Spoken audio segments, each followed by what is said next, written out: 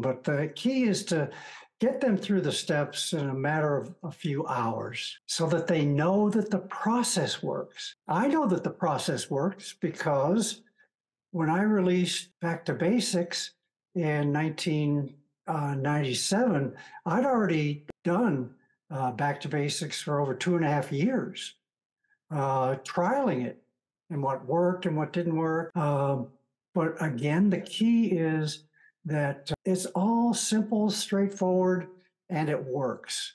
So once the sponsee has been through the, the process once, we set up uh, check-in times. And I will check in with the sponsor uh, once a week. Uh, then as, as we get further along, uh, once every two weeks, but they still call in uh, from time to time